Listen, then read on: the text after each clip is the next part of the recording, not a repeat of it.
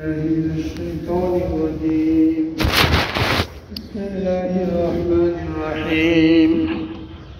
قد أفلح المؤمنون الذين هم في صلاتهم خاشعون. والذين هم عن اللغو معرضون. والذين هم للزكاة فاعلون. والذين هم لفروجهم حافظون. إلا على أزواجهم أو ما ملكت أيمانهم فإنهم غير ملومين. فمن ابتغى وراء ذلك فأولئك هم العادون. والذين هم لأماناتهم وعهدهم راعون. والذين هم على صلواتهم يحافظون. أولئك هم الوارثون. الذين يرثون الفردوس هم فيها خالدون. صدق الله العظيم صدق رسوله النبي الكريم. ونحن على ذلك من الشاهدين والشاكرين. الحمد لله رب العالمين. الحمد لله. মহতারাম হাজিরিন, আল্লাহ রবুল্লা আলমিন আল্লাহ কোটি শুক্রিয়া। যে আল্লাহ রবুল্লা আলমিন আমাদেরকে দুনিয়াতে সবচেয়ে দামি নেয়ামতে ভূষিত করেছেন। অশরাফুল মখলুকাত হিসাবে আমাদেরকে দুনিয়াতে প্রেরণ করেছেন।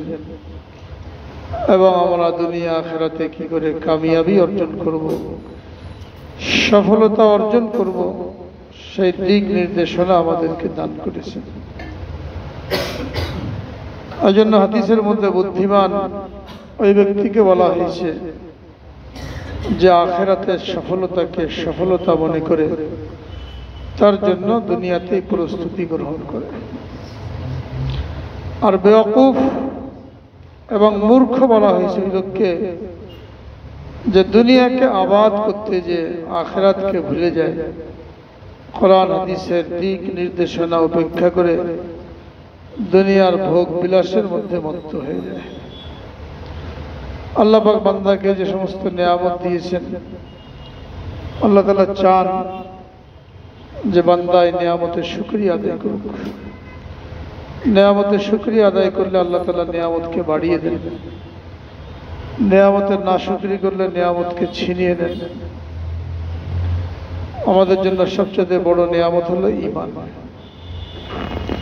আগেও বারবার বলা হয়েছে যে ইমানের দৌলত ইমানের এই নিয়ামত, এত বড় নিয়ামত যে একজন মানুষ শুধুমাত্র মমিন আর কিছুই তার নিকট নাই। তো সে সবচেয়ে ধনী। কেন? ইমানের অর্থই হলো আল্লাহর সাথে তার সম্পর্ক হয়ে গেছে। মান আল্লাহু লাহু। যে আল্লাহর হয়ে গেল, আল্লাহ তার হয়ে গেল। তো আল্লাহর হবে কীভাবে? আল্লাহর উপরে ইমান আনায়ন করার মাধ্যমে ইমান গ্রহণ করার মাধ্যমে। আর আল্লাহ যার হয়ে গেলেন, তো তার চাইতে সৌভাগ্যশালী ব্যক্তি আর কেউ হতে পারে না। এই জন্য শয়তান সবসময় চেষ্টা করে মানুষকে বেঈমান করার জন্য। বেঈমান অবস্থায় দুনিয়া থেকে বিদায় করার জন্য চেষ্টা করে। সারা জীবন শয়তান চেষ্টা করতে থাকে, যেন মানুষ ইমান থেকে হটে যায়। এরপরে যখন কামিয়াব হয় না, তো মৃত্যুর সময় সর্বাত্মক শক্তি দিয়ে চেষ্টা করে এই লোকটা যেন ইমানের সাথে মৃত্যুবরণ করতে না পারে। এরপরেও যদি কোনো মানুষের ইমানই মৃত্যু হয়, তো শয়তান তখন এত হতাশাগ্রস্ত হয়ে যায় যে নিজের নিজের মাথার উপরে মাটি ধুলাবালি নিক্ষেপ করতে থাকে। যে ব্যক্তিতে কামিয়াব হয়ে গেল, আমি ব্যর্থ হয়ে গেলাম। তো এই জিনিসটা সবসময় মনে রাখা। যে আমাকে আল্লাহ রবুল আলমিন এই যে নিয়ামতটা দান করেছেন। কোন অবস্থা যেন হাত ছাড়া না হয়। বিশেষ করে আজকের এই শেষ যুগে এই যুগ সম্পর্কে ভবিষ্যৎবাণী করা হয়েছে যে ইমানের উপরে চলা ইমানের উপরে টিকে থাকা এমন কঠিন বিষয় হয়ে দাঁড়াবে যেমন হাতের মধ্যে জ্বলন্ত অঙ্গার রাখা।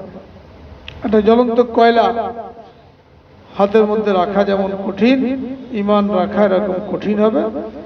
এবং এটা আমরা যদি আমাদের চারিপাশে তাকাই, নিজেদের অবস্থা নিয়ে বিচার বিশ্লেষণ করি, তাহলে যে কেউ অতি সহজে বুঝতে পারব যে এরকম একটা পরিস্থিতির ভিতর দিয়ে আমরা যাচ্ছি।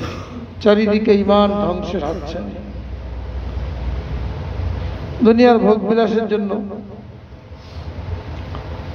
দুনিয়ার আরাম আয়েসের জন্য মানুষ ইমানকে বিক্রি করতে রাজি হয়ে যাচ্ছে। ইমানকে হাতছাড়া করতে রাজি হয়ে যাচ্ছে। স্পষ্টভাবে যে সমস্ত কাজগুলি ইমান পরিপন্থী এবং কুফরি মানুষ অবলীলাক্রমে এই সমস্ত কাজের মধ্যে ঝাঁপিয়ে পড়ছে। তো এইভাবে যদি আল্লাহ তালার এই নিয়ামতের নাশুকরি করা হয়, তাহলে আল্লাহ তালা এই নিয়ামতকে ছিনিয়ে নেবেন। কীভাবে ছিনিয়ে নেবেন? হয়তো মৃত্যুর আগেই ওই মানুষটা ইমান হারা হয়ে যাবে। বহুত মানুষ আমাদের দেশে আছে। যারা মুসলমানের ঘরে জন্মগ্রহণ করেছে, মুসলমান নাম ধারণ করেছে, কিন্তু এখন তার অবস্থান ইসলামের বিপক্ষে। ইসলামের বিপক্ষে সে যুক্তি দাঁড় করে,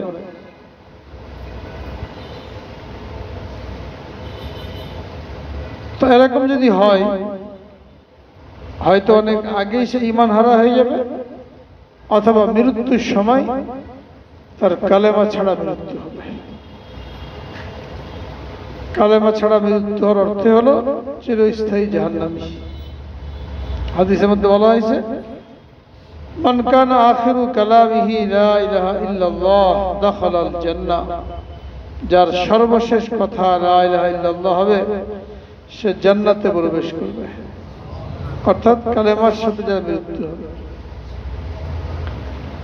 এই কারণে একটা জিনিস আমাদেরকে জানতে হবে, যে ইমান কাকে বলে? দ্বিতীয় হলো, একজন মমিন ব্যক্তি কামিয়াবি অর্জন করার জন্য কোন কোন গুণ অর্জন করবে?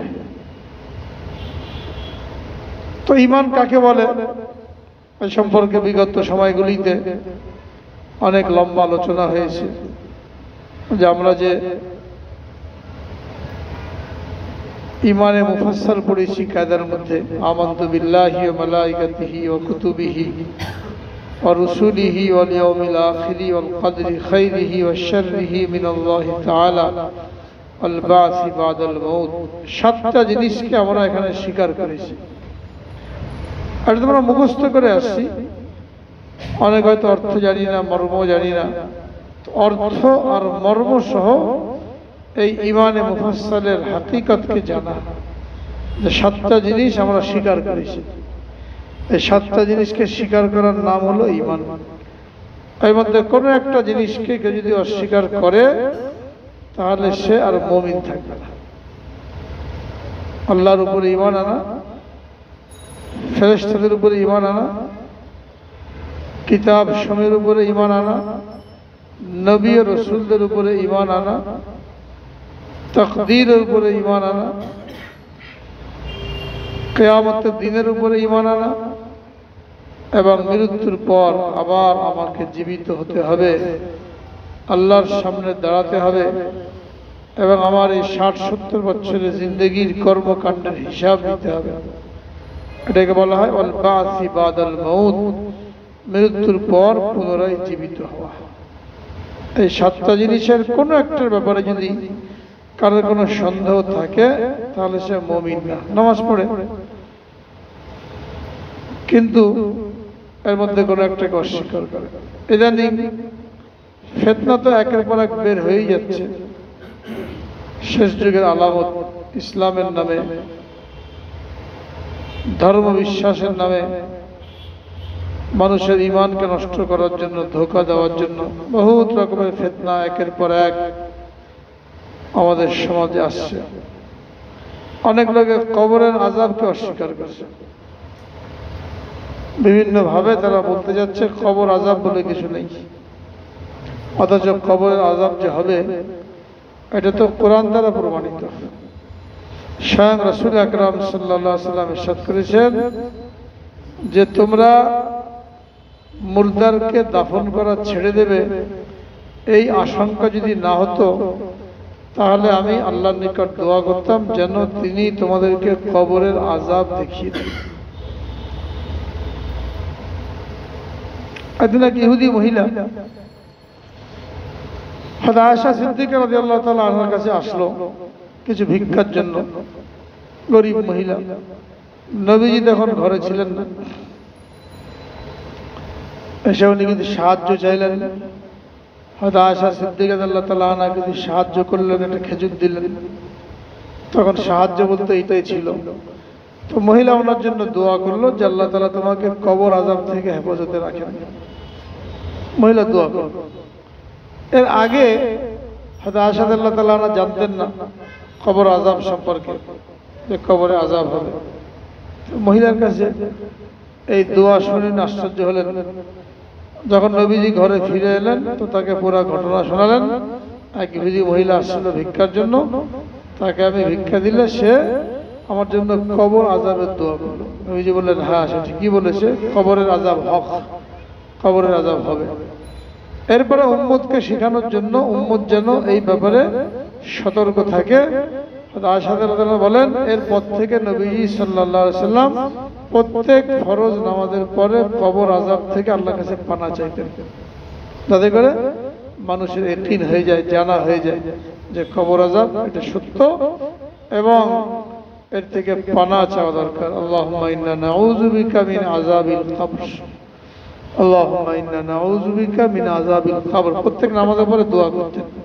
চারটা বিষয়ে দোয়া করতেন ফরজ নামাজের পরে চারটা বিষয়ে দোয়া করতেন আল্লাহুম্মা ইন্না নাউযু বিকা মিন আযাবিল কবর আল্লাহুম্মা ইন্না নাউযু বিকা মিন ফিতনাতিল মাহইয়া ওয়াল মামাত اللهم إنا نعوذ بك من فتنة المسيح الدجال اللهم إنا نعوذ بك من المأثم والمغرم এই চারটা দোয়া একসাথে করতেন প্রত্যেক নামাজের পরে এক নম্বরে আল্লাহ কবর।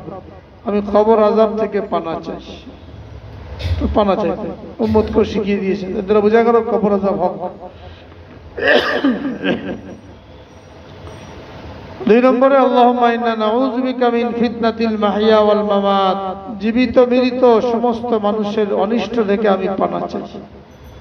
কোন জীবিত লোকের কারণে আমি ফেতনার মধ্যে না পড়ি। কোন মৃত মানুষের কারণে আমি ফেতনার মধ্যে না পড়ি। এটা দোয়া করতেন। খুবই গুরুত্বপূর্ণ বিষয়।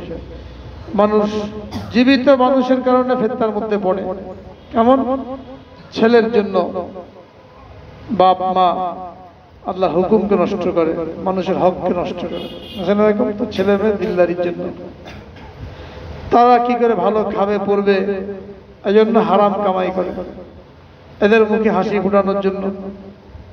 হারাম পথে পা বাড়ায়। তো জীবিত লোকের কারণে ফেতনার মধ্যে পড়ে গেল। অনেক সময় ছেলে মেয়ের অবৈধ কর্মকাণ্ডের কারণে বাপ মাকে বেইজুত হতে যত বড় নেতা আছে এই সমস্ত নেতাদের ছেলে মেয়েদের কারণে নেতারা কত বিব্রত অবস্থা বোধ করে, কত উল্টা পাল্টা করেই যাচ্ছে। হলো জীবিতদের ফেতনা। মৃতদের ফেতনা মরে যাওয়ার পরেও লোকদেরকে ফেতনার মধ্যে ফেলে রেখেছে। তো মৃত ব্যক্তিদের ফেতনা থেকে আমি মাপ চাই, ক্ষমা চাই। মৃত ব্যক্তিদেরকে সম্মান করেছে, মৃত ব্যক্তিদের কবরে শ্রদ্ধা করছে, মৃত ব্যক্তিদের ছবি চারিদিকে ছড়িয়ে দিচ্ছে, মৃত ব্যক্তির নামে অরুষ করেছে, মৃত ব্যক্তির নামে কত কিছু করেছে। তবে লোকটা মরে যেও শান্তি দেয় নাই, জীবিত লোকগুলোকে ফেতনার মধ্যে ফেলে দিয়ে গেছে। আছে না মৃত লোকের লোকেরা ফেতনার মধ্যে পড়ে গেছে, বহুত বড় ফেতনা।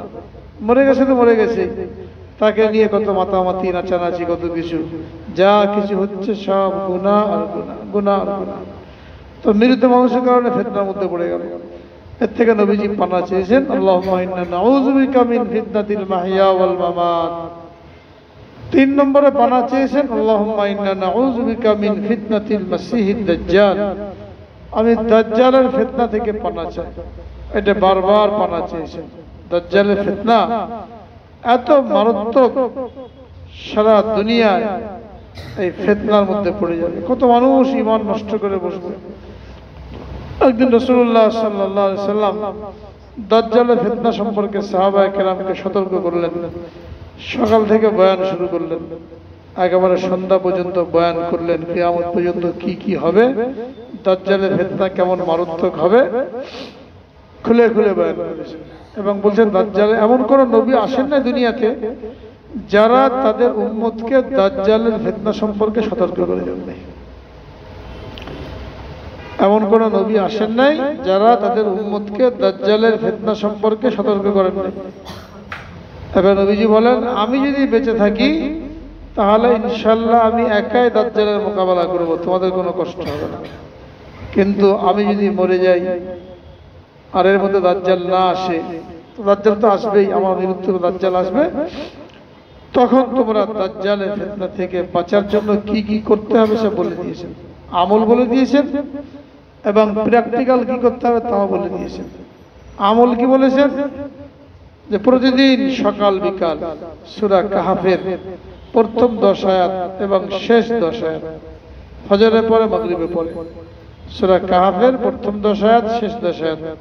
যে ব্যক্তি নিয়মিত তেলাওয়াত করবে, আল্লাহ রাবুল আলমিন তাকে দাজ্জালের ফেতনা থেকে হেফাজত করবে। জুমার দিন যে ব্যক্তি সুরা কাহাফ তেলাওয়াত করবে, পরবর্তী জুমা পর্যন্ত আল্লাহ পাক তাকে দাজ্জালের ফেতনা থেকে হেফাজত করবেন। এর মধ্যে যদি দাজ্জাল বের হয়ে যায়, তাহলে এই ব্যক্তি দাজ্জালের ফেতনার মধ্যে পড়বে না। এটা হলো আমল বলে দিয়েছেন। একটা হলো দোয়া করতেন আল্লাহুম্মা ইন্না নাউযু বিকা মিন ফিতনাতিল মাসিহিদ দাজ্জাল। আমি দাজ্জালের ফিতনা থেকে পানা চাই। দ্বিতীয় হলো এই আমলটা করার জন্য বলেছেন। আর তৃতীয় হলো আলামত বলে দিয়েছেন। দাজ্জালকে কেমনে চিনবে? আর দাজ্জালের ফিতনা থেকে কীভাবে নিরাপদ থাকবে? হ্যাঁ? যে দাজ্জাল বের হবে।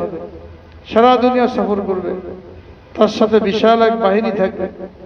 ইহুদিদের বাহিনী থাকবে। এ নিজেকে ক্ষুদা বলে দাবি করবে। আল্লাহ তাকে শক্তি দেবেন। তার ডান হাতে আর বাম হাতে এক হাতে জান্নাত থাকবে, এক হাতে জাহান্নাম থাকবে। যে যারা তার অনুসরণ করবে, এদেরকে জান্নাতে নিক্ষেপ করবে, জান্নাতে ফেলবে, কিন্তু জান্নাতটা আসলে জাহান্নাম হবে। আর যারা তাকে মানবে না, এদেরকে জাহান্নামে নিক্ষেপ করবে, দেখা যাচ্ছে বাস্তবে জাহান্নাম, কিন্তু জাহান্নামটা এটা জান্নাত হবে। সারা দুনিয়া সফর করবে। মক্কা মদিনা ঢুকতে পারবে না। এখানে ফেরেশতারা পাহারা দেবে। মক্কা মদিনায় তিনটা ভূমিকম্প হবে। এই ভূমিকম্পের কারণে যারা দুর্বল ইমানদার, তারা মদিনা থেকে বাইরে চলে আসবে। যেখানে থাকলে ভূমিকম্পে মারা যাব। বাইরে থেকে মদিনা থেকে বের হয়ে এসে দাজ্জালে খপ্পরে পড়ে যাবে। আল্লাহ পাক দুর্বল ইমানদারদেরকে ওখান থেকে বের করার জন্য তিনটা ভূমিকম্প দেবেন। যারা মজবুত ইমানদার, তারা ওখানেই বসে থাকবে। যারা দুর্বল ইমানদার এরা মদিনা থেকে বেরিয়ে বাইরে যখন আসবে, দাজ্জালের খপ খপ্পরে পড়ে যাবে। দাজ্জাল তার মৃত পিতামাতাকে জীবিত করে দেখাবে যে, তোমার পিতামাতা যারা মারা গেছে, তারা যদি বলে আমি ক্ষুধা তাহলে মানবে? না হ্যাঁ মানবো। তো দাজ্জালের সাথে শয়তান থাকবে। বাপ মাকে থেকে জীবিত করবে? ওই শয়তানদেরকে হুকুম দেবে, এর বাপ মার আকার ধারণ করতে। এর বাপ মার আকার ধারণ করলে তারা বলবে হ্যাঁ এর লোক ক্ষুধা তোমরা মানো তো বাপ যখন কবর থেকে উঠে এসে বলছে ক্ষুধা তো মানবে। এইভাবে মানুষ ইমান নষ্ট করবে। কিন্তু যারা ইমানদার তারা চিনবে দাজ্জালের কপালে কাফের লেখা থাকবে, তিনটা শব্দ লেখা থাকবে, এক চোখ কানা থাকবে। এইসব আলামত বলে দিয়ে গেছে চল্লিশ দিন পর্যন্ত সারা দুনিয়াতে বিপর্যয় সৃষ্টি করবে। এরপরে মানুষকে গুমরা করে সারা দুনিয়াতে হত্যাযজ্ঞ চালিয়ে ফিলিস্তিনের দিকে চলে যাবে, ইসরায়েলে চলে যাবে। ওই সময় হজরত ঈসা আলাইসাল্লাম আসমান থেকে অবতরণ করবেন এবং হজরত ঈসা আলাইসাল্লামের হাতে এই দাজ্জালের হত্যাকাণ্ড করবে হজরত মাহাদি, উনি আগেই আত্মপ্রকাশ করবেন। উনি একদিন সিরিয়ার রাজধানী দামেশকে জামে মসজিদে আসরের নামাজের জন্য প্রস্তুতি নেবেন, লোকজন সহ। এমন সময় হজরত ঈসা আলাইসাল্লাম দুইজন ফেরেশতার কাঁধে ভর দিয়ে আসমান থেকে ওই দামেস্কের জামে মসজিদের ছাদের উপর অবতরণ করবেন তখন ইমাম মাহাদি মই লাগিয়ে ওনাকে ছাদ থেকে নামিয়ে নিয়ে আসবেন। দুজনে মিলে তখন যে বড় বড় ফেতনা থাকবে, ইয়াজুজ মাজুজ এবং দাজ্জালের ফেতনা, এর মোকাবেলা করবেন। দাজ্জাল এবং দাজ্জালের যে বাহিনী থাকবে, ইহুদিদের বাহিনী, যেটা ইসরায়েল কেন্দ্রিক হবে এদের বিরুদ্ধে যুদ্ধ হবে। যুদ্ধ করতে করতে হজরত ঈসা সালাম ইসরায়েলের ভিতরে প্রবেশ করবেন এবং ইসরায়েলের মধ্যে ফিলিস্তিন, তখন তো ইসরায়েল ছিল না, ফিলিস্তিনের কথা বলা হয়েছে। ওখানে একটা দরজা আছে, বাবে লুদ এই বাবে লুদ নামক জায়গায় যে দাজ্জাল আটকে যাবে, ওখান থেকে আর যেতে পারবে না। ওইখানে তাকে হত্যা করা হবে। এইভাবে দাজ্জালের ফেতনা খতম হবে। তো এই সমস্ত আদিতগুলোর মধ্যে স্পষ্ট বলা হয়েছে, দাজ্জাল একজন মানুষের মতন হবে, সারা দুনিয়া সফর করবে। এটা ইমান ইমান আনতে হবে। কিন্তু এখানেও লোকেরা বিভিন্ন রকমের মানুষের ইমানকে নষ্ট করার জন্য অপব্যাখ্যার মধ্যে যাচ্ছে। তারা বলছে, এখন যে পরাশক্তি আছে, আমেরিকা, রাশিয়া, আমেরিকার এই সমস্ত যুদ্ধ জাহাজ এইগুলো হলো দাজ্জাল। অল্প সময়ের মধ্যে সারা দুনিয়া সফর করতে পারে। এই যুদ্ধ জাহাজকে আর আমেরিকার ডিজিটাল প্রযুক্তি, এইগুলোকে দাজ্জাল বানিয়ে দিয়েছে। হিজবুত তাহারির হিজবুত তৌহিদ নামে একটা দল- আছে, যারা সম্পূর্ণ মুসলমান, কাফের। এরা মানুষের ইমান নষ্ট করছে এবং দিনে দিনে এরা শক্তি সঞ্চয় করেছে। অনেক মুসলমান এদের দলে যোগ দিয়ে হিজবুত তাওহীদ যেটা সরকারিভাবে নিষিদ্ধ করা হয়েছে কিন্তু এরা এই সমস্ত মন গড়া ব্যাখ্যা দিচ্ছে যে দাজ্জালের যে কথা হাদিসের মধ্যে বলা হয়েছে, ওটা কোনো ব্যক্তির নাম না, এটা হলো এই সাম্যরাজ্যবাদী শক্তি, এদেরকে দাজ্জাল বলা হয়েছে। অথচ হাদিসের মধ্যে স্পষ্ট রসুল্লাহ দাজ্জাল সম্পর্কে বলে দিয়েছেন, তার এক চোখ কানা হবে হ্যাঁ সারা দুনিয়া সফর করবে, একদল ইহুদি তার সাথে থাকবে, এইগুলোকে উপেক্ষা করে এরা আমেরিকাকে দাজ্জাল বানিয়ে দিয়েছে। এরকম বিভিন্ন অপব্যাখ্যা দিয়ে মানুষের ইমানকে নষ্ট করার জন্য চেষ্টা করা হচ্ছে। আর মানুষ জানে বুঝে এদের দলে কেমনে যোগ দিস? এই সমস্ত দলে কেমনে যোগ দিস? কতগুলো মানুষ মাজার পূজার মধ্যে লিপ্ত, কওয়ালির মধ্যে লিপ্ত, কবরকে কেন্দ্র করে ঢোল, তবলা, গান, বাজনা, এইগুলো হচ্ছে। নারী পুরুষ সেখানে যে একসাথে মিলে নাচে, জিকির করে, গানের তালে তালে গাঁজা সেবন করে, এরাও নিজেদেরকে মুসলমান বলে দাবি করে। তো যার সামান্য কমন সেন্স থাকলে বিবেক বুদ্ধি থাকলে এটার সাথে যে ইসলামের কোনো সম্পর্ক নাই, এটা বোঝার জন্য কি বেশি জ্ঞান থাকা লাগে? গান বাজার সাথে ইসলামের কি সম্পর্ক? কবর পূজার সাথে ইসলামের কি সম্পর্ক? কওয়ালির সাথে ইসলামের কি সম্পর্ক? এরকম মোটা মোটা জিনিসগুলোর মধ্যে মুসলমান লিপ্ত হয়ে তার ইমানকে নষ্ট করে বসছে। এই জন্য এটা খুব জানা জরুরি যে ইমান কি জিনিস, কীভাবে ইমান নষ্ট হয়ে যায়। এদিকে ইশারা করে হাদিসের মধ্যে বলা হয়েছে একটা যুগ এমন আসবে, ইউসবিহু মুমিনান, ইউসবিহু রাজুলু মুমিনান ওয়া ইউমসি কাফিরা ওয়া ইউমসি মুমিনান ওয়া ইউসবিহু কাফিরা। সকালে মানুষ মুসলমান থাকবে, বিকালে কাফের হয়ে যাবে। বিকালে মুসলমান থাকবে, তো সকালে কাফের হয়ে যাবে।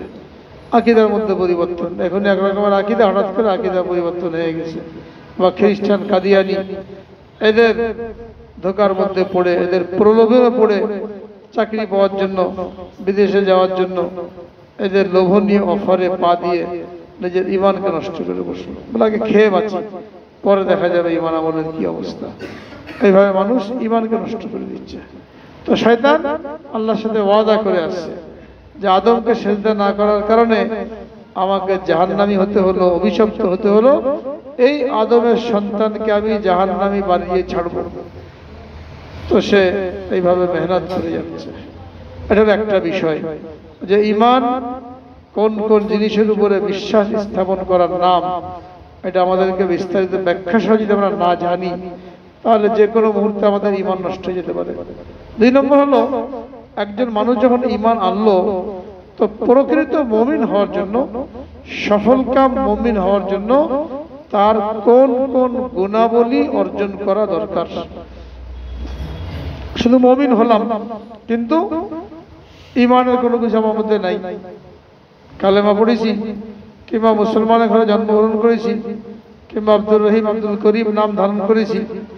এর বাইরে ইসলাম আর ইমানের কোনো কিছুই আমার মধ্যে নাই। এই লোকটাকে প্রকৃত কামিয়াব বলা যেতে পারে না। যদি তার এই ইমানের সাথে মৃত্যু হয়, তাহলে সে একদিন না একদিন জান্নাতে যাবে। কিন্তু এই অবস্থায় ইমানি মৃত্যু হবে কিনা তাতে সন্দেহ আছে। কেন? যে ইমান হলো একটা চারাগের মতো। চারাগের মধ্যে তেল থাকলে চারাকটা জ্বলে। তেল যদি না থাকে তো চারাকটা নিভে যায়। আমার ইমানটা হলো চারাগ, আর আমার আমলগুলি হলো তেলের মতো। যদি আমল থাকে ইমানের সাথে, তো আমার ইমান নামক চারাগ এটা প্রজ্বলিত থাকবে। আর আমল যদি না থাকে, ওটা নিভে যাবে। অর্থাৎ মৃত্যুর সময় ইমানই মৃত্যু নসিব হবে না, কালেমার মৃত্যু নসিব হবে না। যদি নসিব হয় ইমানি মৃত্যু, তো আমল না করার কারণে সে জাহান নামে জ্বলবে। একদিন না একদিন জান্নাতে যাবে।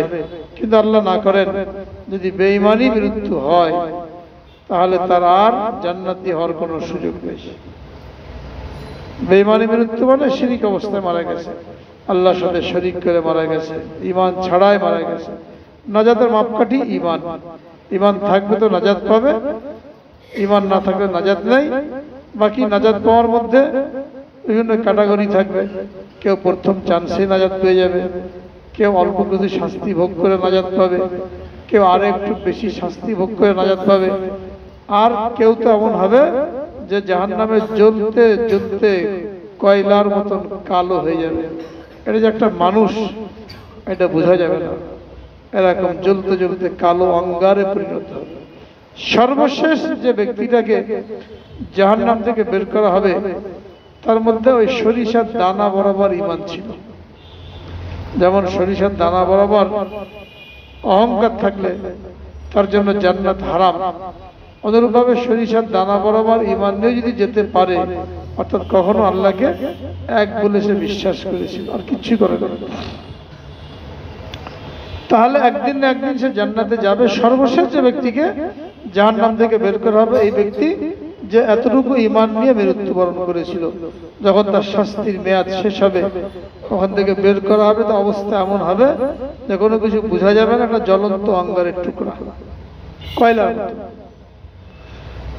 এরপরে তাকে জান্নাতে নিয়ে জান্নাতের প্রবেশ দ্বারেই একটা নহর থাকবে। যেটাকে বলা হয় নহরে হায়াত, জিন্দগির নহর। ওখানে তাকে ফেলা হবে, চুবনি দেওয়া হবে।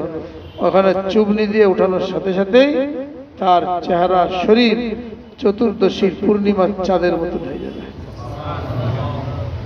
এবং এই ব্যক্তি সম্পর্কে বলা হয়েছে যে তাকে এই দশ দুনিয়ার সমান জান্নাত দেওয়া হবে। সর্বশেষ যে ব্যক্তি জান্নাতে প্রবেশ করল। তার জন্য দশ দুনিয়ার জান্নাত, এই সমান জান্নাত বরাবর। এটা হলো শাস্তি ভোগ করার পরে। কিন্তু যে সমস্ত গুণাবলী দ্বারা মানুষের ইমান উৎকর্ষিত হয়, একজন মানুষ প্রকৃত মমিন বলে বিবেচিত হয়, ওই গুণগুলি জানা এবং এই গুণগুলি অর্জন করা, এটা আমাদের জন্য জরুরি। তো যে আয়াতগুলি তেলাওয়াত করা হলো অনেকদিন যাবৎ এই আলোচনা হচ্ছে। রাবুল আলমিন সফল কাম এবং কামিয়াব মমিন বলে কাদেরকে অভিহিত করেছেন। কি সেই গুণ যেগুলি থাকলে একজন মমিন, পরিপূর্ণ মমিন হবে? এটা প্রায় ছয় মাস ধরে আলোচনা হচ্ছে, আলহামদুলিল্লাহ। অনেকটা আলোচনা হয়ে গেছে। শেষ গুণটা বাকি ছিল। যার অর্ধেক আলোচনা হয়েছিল। কদাফলাল মুমিনুন আল্লাহ আলামিন বলেন নিশ্চয় মুমিনরা কামিয়াব হয়ে গেছে। কোন মুমিন? যারা সাতটা গুণ অর্জন করেছে। যারা খুশু খুদুর সাথে নামাজ আদায় করে, এক নম্বরের নামাজের কথা বলা হয়েছে। দুই নম্বর, যারা অনর্থক কর্মকাণ্ড থেকে বেঁচে থাকে। যারা যাকাত আদায় করে, মালের জাকাত কিংবা শরীরের জাকাত শরীরের জাকাত কি? অন্তরে দশটা রোগ। এক একটা রোগ জাহান্নামে নেওয়ার জন্য যথেষ্ট। এই রোগগুলিকে দূর করে এই দশটা রোগের বিপরীত দশটা গুণ অর্জন করা। অল্লাদিনা হুমলি ফুরুজিহিম হাফিজুন।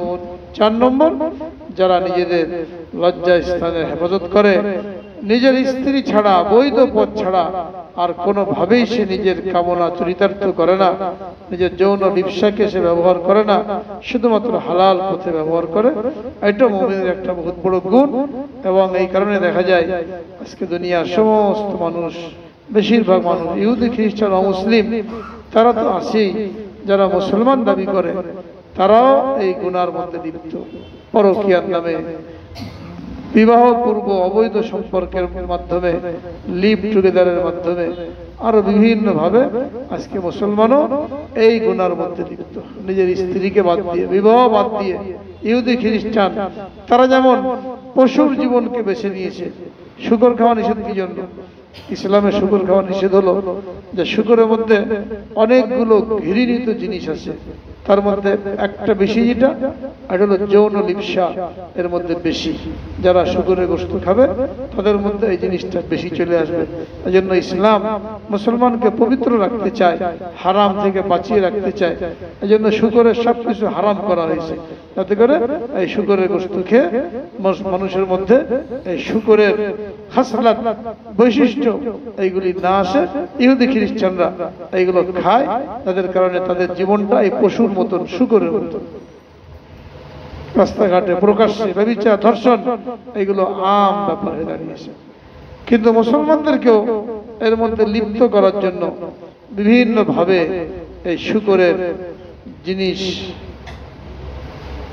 গোস্ত হোক, রক্ত হোক, চর্বি হোক বিভিন্ন ভাবে মুসলমানের শরীরে প্রবেশ করানোর জন্য মুসলমানের ঘরের মধ্যে খাবারগুলি ঢুকিয়ে দেওয়া হয়েছে। বাইরে থেকে যে খাবারগুলি আসে বেশিরভাগ খাবার চকলেট হোক কেক হোক, উন্নত মানের বিস্কুট হোক, যত দামি দামি খাবার, যত উন্নত মানের খাবার, যত মজাদার খাবার সবগুলোর মধ্যে শুকরের পার্টস ঢুকিয়ে দিয়ে মুসলমানদের ইমানকে নষ্ট করা হচ্ছে। আমাদের দেশেও বড় বড় চাইনিজে চলে যাবেন থাইতে চলে যাবেন, আরও ফাস্টফুডে চলে যাবেন। বেশিরভাগ জায়গায় এই সমস্তকে ব্যবহার করে মানুষকে হারাম খাওয়ানো হচ্ছে। যে মানুষ মুসলমান, যখন হারামের মধ্যে লিপ্ত হবে, তখন তার দোয়া কবুল হবে না। আর দোয়া যদি কবুল না হয়, ব্যাস মুসলমানকে মারো, অত্যাচার করো, মুসলমানের ক্ষুদা মুসলমানের সাথে আপনার সারা দুনিয়াতে ইহুদি খ্রিস্টানরা মুসলমানদেরকে মার দিচ্ছে, অত্যাচারিত হচ্ছে। মুসলমান দোয়া করছে, দোয়া কবুল হচ্ছে না। কেন? এই শুকরের মধ্যে জড়িয়ে পড়েছে। বিদেশ থেকে যে জিনিসগুলো আছে যেমন ই কোড দেওয়া আছে। ওই ই কোডের এক একটার অর্থ থাকে। এর মধ্যে শুকরের চর্বি আছে, এর মধ্যে শুকরের গোস্ত আছে, এর মধ্যে শুকরের রক্ত আছে, এর মধ্যে শুকরের হাড্ডি আছে। এই কোড দেওয়া আছে। এই ইকট যেখানে থাকে, এগুলো আলামত। এইগুলো খাওয়া কোনো মুসলমানের জন্য জায়েজই নেই। কিন্তু আমরা রসনা বিলাসের জন্য, মুখরোচক খাবারের জন্য এই সমস্ত জিনিস দাম দাম দাম দিয়ে কিনছি। হ্যাঁ আর এইগুলো খেয়ে রসনা বিলাস দুনিয়াতে রসনা বিলাস করে গেলাম। আবার জান্নাতের দামি দামি নিয়ামত ভোগ করতে চাই। দুটো একসাথে জমা হবে? এখানে কষ্ট করতে হবে। এখানে কষ্ট করে যত হারাম থেকে বেঁচে থাকা যায়। তো মুসলমানকে পবিত্র রাখার জন্য তার রুচি বিকৃতি যেন না হয় এই জন্য যে সমস্ত পশুর মধ্যে রুচি বিকৃতি আছে কুকুর খাওয়া হারামের জন্য, শুকর খাওয়া হারামের জন্য, হিংস্র জীবজন্তু খাওয়ার জন্য যে এগুলো খেলে মানুষের মধ্যে ওই হিংস্রতা চলে আসবে। শুধুমাত্র পবিত্র জিনিস খাবে, গরু, ছাগল, ভেড়া, উট হ্যাঁ এগুলোর মধ্যে নম্রতা আছে, ভদ্রতা আছে, অন্যগুলোর তুলনায় এইগুলো কোনো ক্ষতি নাই এইগুলোকে হালাল করা হয়েছে। যেগুলোর মধ্যে ক্ষতি আছে, ওইগুলোকে হারাম করা হয়েছে। অথচ মুসলমান এইগুলো স্বাদ নেওয়ার জন্য হ্যাঁ এইগুলোর মধ্যে লিপ্ত হচ্ছে। তো কোনো আমলই কবুল হচ্ছে না, কোনো দোয়া কবুল হচ্ছে না। তো আখেরাতের নিয়ামত পেতে হলে দুনিয়াতে ত্যাগ করতে হবে, কুরবানি করতে হবে। অনেক ইচ্ছাকে বিসর্জন দিতে হবে। সব ইচ্ছা এখানে পুরা করলাম, আবার আমি আখেরাত চাই। এই দুইটা একসাথে জমা হবে না।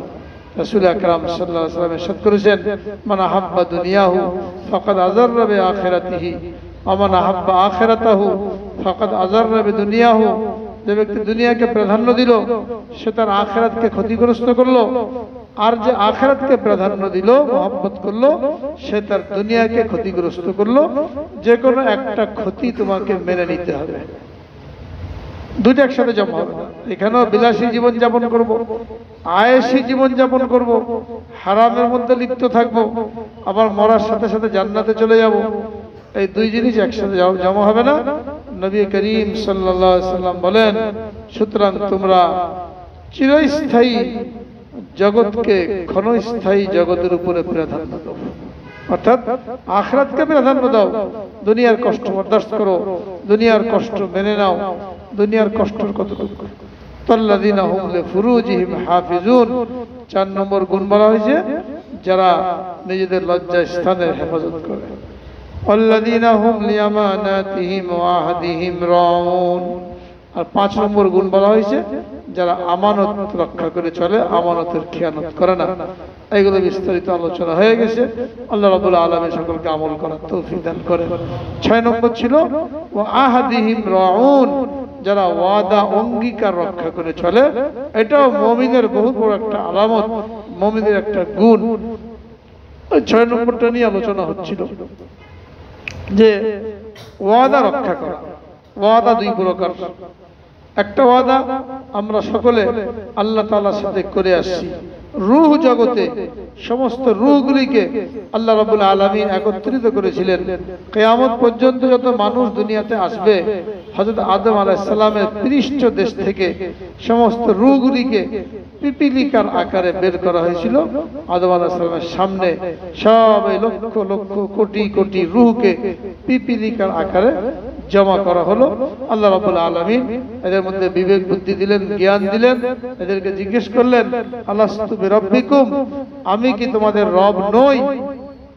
আমরা সকলেই স্বীকার করেছি, বালা, অবশ্যই আপনি আমাদের রব। এটা আমরা স্বীকার করে আসছি। এখন মনে থাক আর না থাক, আমরা সকলে বলে আসছি, আপনি আমাদের রব। আল্লাহর সাথে ওয়াদা করে আসছি, আপনি আমাদের রব, সুতরাং দুনিয়াতে যে আমরা আপনার হুকুম মতনই চলবো। এখন কিছু আমার তো মনে নাই। তো মনে না থাকলে কোনো অসুবিধা নাই। এই মনে করানোর জন্য আল্লাহ রাবুল আলমী লক্ষাধিক পয়গম্বরকে পাঠিয়েছেন। যে বান্দা যে ওয়াদা করে গেল আমার কাছে, এই ওয়াদা স্মরণ করিয়ে দাও। দুনিয়ার জীবনে মন চায় জিন্দগি যেমন করো না। যে ওয়াদা করে আসছো, ওয়াদার উপরে চলো। ওয়াদা কি? তুমি আমাদের রব। অর্থাৎ আমাদের সমস্ত কর্মকাণ্ড রবের চাহিদা মোতাবেক হবে, আমার চাহিদা মোতাবেক হবে না। আমি মন চাই জিন্দগি যাপন করব না, আমি তো রব চাই জিন্দগি যাপন করব।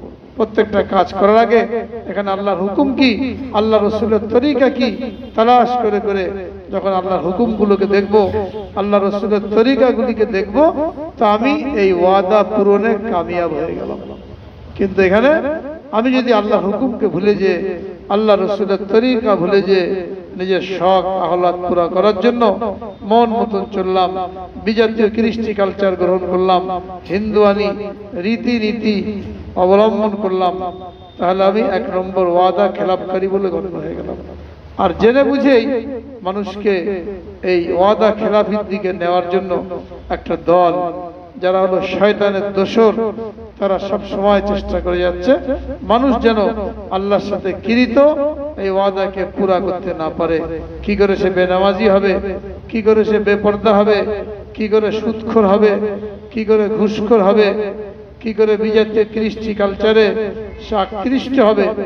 এটা বাড়ানোর জন্য একটা দল সবসময় কাজ করে যাচ্ছে। মিনাল জিন্নাতি নাস। নাস জিনদের মধ্যে অর্থাৎ শয়তানের মধ্যে তো আছেই। মানুষের মধ্যে মুসলমান নামধারী একদল লোক, তারাও এই মুসলমানদেরকে আল্লাহর ওয়াদা থেকে সরিয়ে ওই সমস্ত অমুসলিম রীতিনীতি এদিকে নিয়ে যাওয়ার জন্য চেষ্টা করেছে। যার নমুনা আমরা বিভিন্ন সময় দেখি, এখনও দেখতে পাচ্ছি। বইগুলির মধ্যে মুসলমানের আদব আখলা কৃষ্টি কালচার এইগুলো বাদ দিয়ে ব্রাহ্মণ্যবাদী আকিদা হিন্দুয়ানি কৃষ্টি কালচার এইগুলোকে স্কুলে পাঠ্যের মধ্যে ঢুকিয়ে দেওয়া হয়েছে। কারা করেছে এগুলো? মুসলমানরাই করেছে। সবাই মুসলমান হ্যাঁ? মুসলমানের রীতিনীতি, সালাম কালাম, এইগুলো পালন করলে হয়ে যাবে মৌলবাদী।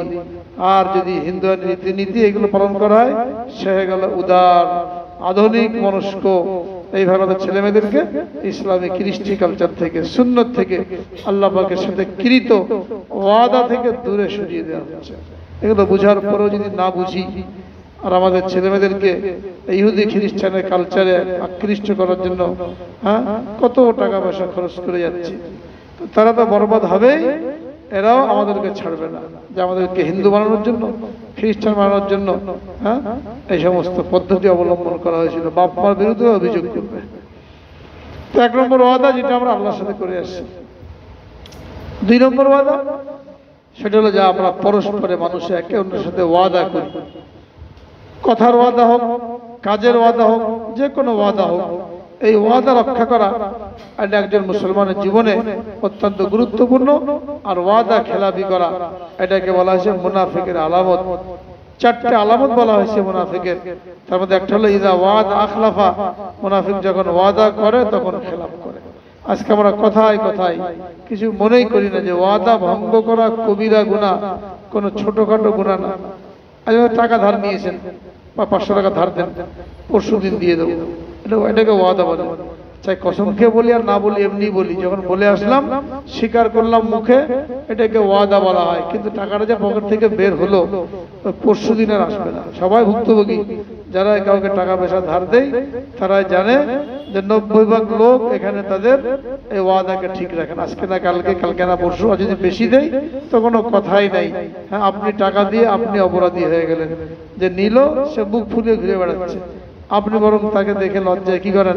আর একদিক দিয়ে কেটে পড়েন হ্যাঁ যে টাকা দিচ্ছেন আমার সামনে পড়লে কি মনে করে না করে? তার লজ্জা নাই বুক ফুলিয়ে চলছে। এইভাবে ওয়াদা খেলাপ করছে। একটা কাজ করে দেবো, ওয়াদা করলাম না কিন্তু এই কাজটার করে দিলাম না। একটা জিনিস দেবো, ওয়াদা করলাম না বা দেখা করব একজনের সাথে, ওয়াদা করলাম। এরকম প্রতিনিয়ত আমরা ওয়াদা ভঙ্গ করে চলেছি। রসুল আকরাম সাল্লাহ সাল্লাম নবুয়ত পাওয়ার আগের কথা নবী হন নাই, তখনও তিনি ওয়াদা কীভাবে পালন করেছেন? এটা নবী হন, আম্বিয়া কেরাম হন। তাদেরকে নবুয়তের আগেও আল্লাহ তালা সমস্ত গুণা থেকে হেফাজত করেন, নবুয়তের পরেও সমস্ত গুণা থেকে হেফাজত করেন। এক লোকের সাথে ওয়াদা, সে নবীজি দেখা করতে আসবে অমুক জায়গায়, নবীজি সেখানে হাজির, ওই লোক ভুলে গেছে। তিন দিন পর্যন্ত রসুল্লাহ সাল্লাহ সাল্লাম ওই লোকের জন্য সেখানে অপেক্ষা করেছেন শুধু খাওয়ার সময় খেতে গেছেন, ঘুমের সময় ঘুমাতে গেছেন, আবার ওখানে অপেক্ষা তিন দিন পরে সে লোকটার মনে পড়েছে, আরে, মোহাম্মদকে তো এখানে আসতে বলছিলাম। তিন দিন পরে যে দেখে, ঠিক, নবীজি ওখানে দাঁড়ানো তখন ওদের নবী হন নাই। তা কি বললেন যে, ভাই, তুমি আমাকে কষ্টের মধ্যে ফেলে দিলে। নবুয়াতের আগেও এইভাবে ওয়াদা পালন করে দেখিয়ে দিয়েছেন।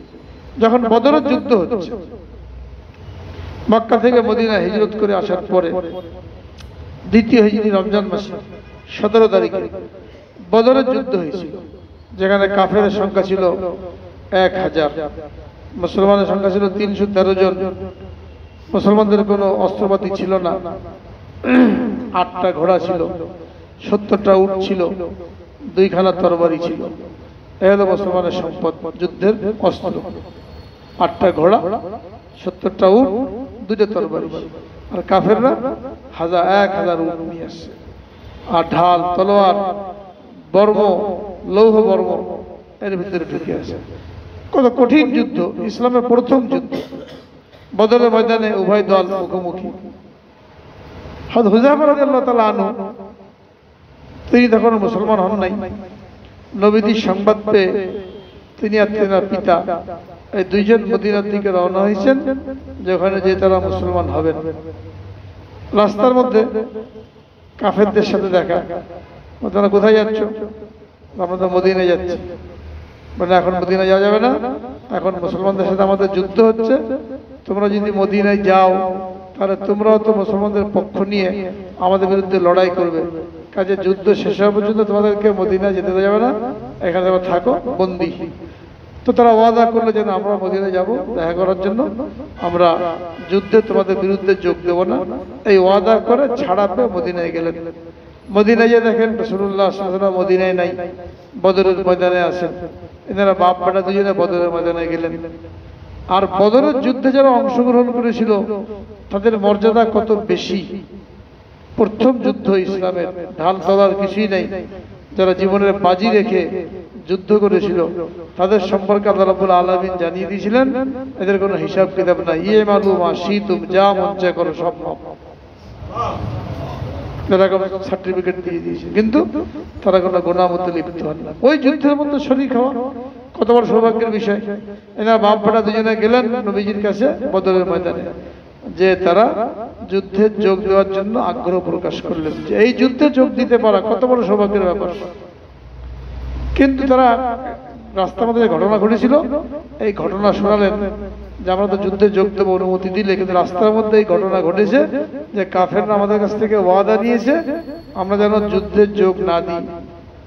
নবীজি সাল্লাম বললেন, তাহলে তোমাদের যুদ্ধে যোগ দেওয়ার দরকার নেই। ওয়াদা করে আসছো, ওয়াদা পালন করতে হবে। হোক সে ওয়াদাটা কাফের সাথে।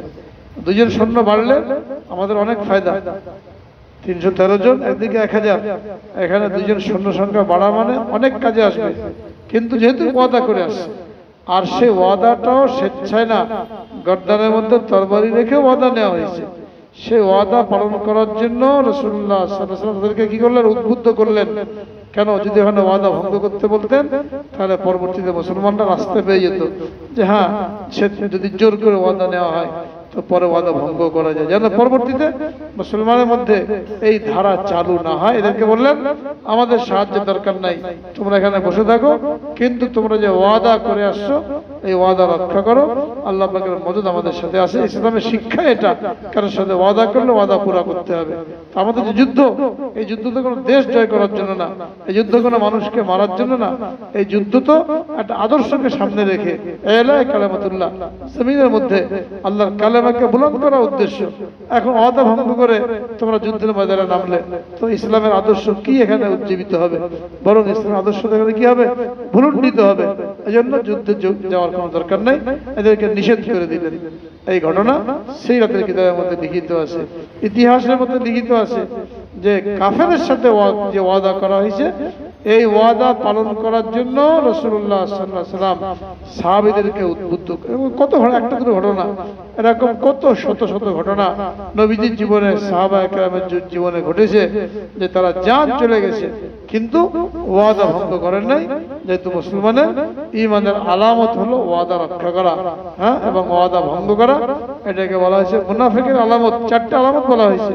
ইদা ওয়াদা খলাফা, ওয়াইদা তুমিনা খানা, ওয়াইদা হাদ্দাসা কাদাবা যখন আমানত রাখা হয়, আমানতের খেয়ানত করে যখন ওয়াদা করা হয়, ওয়াদা ভঙ্গ করে, আর যখন কথা বলে, তো মিথ্যা বলে, আর যখন ঝগড়া হয় কারোর সাথে, তো গালাগালি। গালাগালি ছাড়া ভালো কোনো কথা মুখ দিয়ে বেরিয়ে হয় না। বহু মুসলমানের এরকম আছে, বাপ মা তুলে গালি দিচ্ছে ভরা মজলিসের মধ্যে অমুক তমুক বলে গালি দিচ্ছে। এই গালি দেওয়া মুসলমানকে কুফরি বলা হয়েছে। হ্যাঁ? মুসলমানকে সাব্বুল মুমিন ফিসকুল ওয়া কিতালুল মুমিন কুফরুন। মুসলমানকে গালি দেওয়া এটা ফাসিকি কাজ। মুসলমানকে হত্যা করা এটা কুফরি কাজ। ফাসিকি কাজ বলা হয়েছে। অথচ বহু মুসলমান অবলীলা করবে। মুখ দিয়ে কথা যাচ্ছে তা বেরিয়ে যাচ্ছে। নিজের ছেলে মেয়ের সাথে, নিজের স্ত্রীর সাথে। এমনকি মসজিদের মতো ঝগড়া লাগলে সেখানে মানুষ খিস্তি খেউর করতেও কি করে না? পিস পায় না। এ হলো আমাদের ইমানের অবস্থা। এরকম যদি হয়, তাহলে কোন অবস্থাতে আমরা পাক্কা মুসলমান হতে পারি না। তাহলে ছয় নম্বর গুণ কি হলো? ওয়াদা রক্ষা করে চলা। সাত নম্বর গুণ ইনশাআল্লাহ আগামী সঙ্গে আলোচনা হবে, আল্লাহ রবুল্লা আলমী সকলকে আমল করার তৌফিক দান করেন।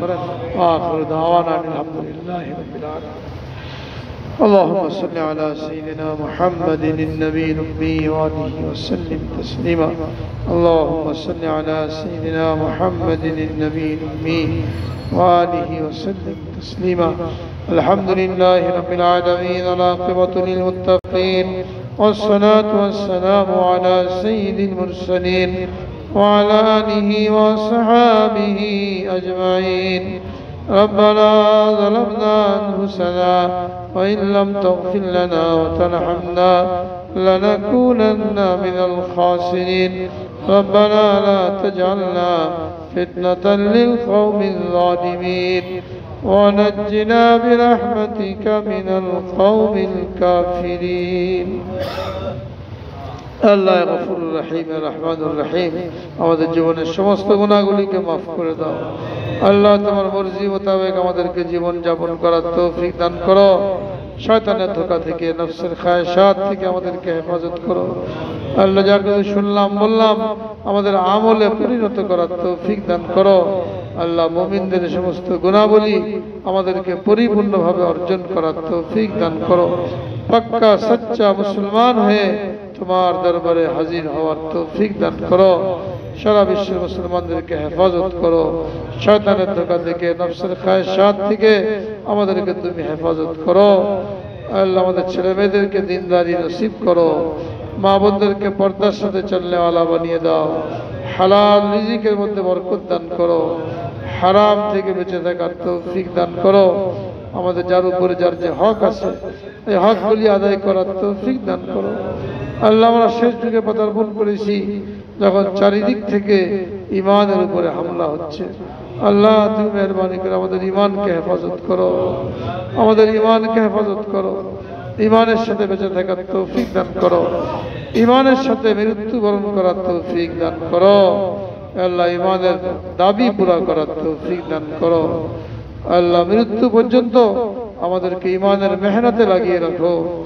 আমাদের আমলগুলিকে সুন্নত মোতাবেক করার তৌফিক দান করো যখন তোমার দরবারে যাওয়ার সময় হয় মেহরবানি করে আমাদের সকলকে ইমানই মৃত্যু নসিব করো কালেমার মৃত্যু নসিব করো আল্লাহ আমাদের দোয়াগুলিকে তুমি কবুল ও মঞ্জুর করে নাও سبحان ربك رب العزة عما يصفون وسلام على المرسلين الحمد لله رب العالمين